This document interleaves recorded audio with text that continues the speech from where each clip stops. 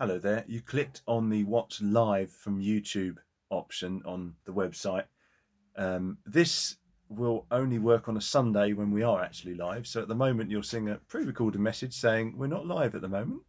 But if you'd like to see last week's service, please go back to the OBC website and click on the YouTube replay button and you will see the last service.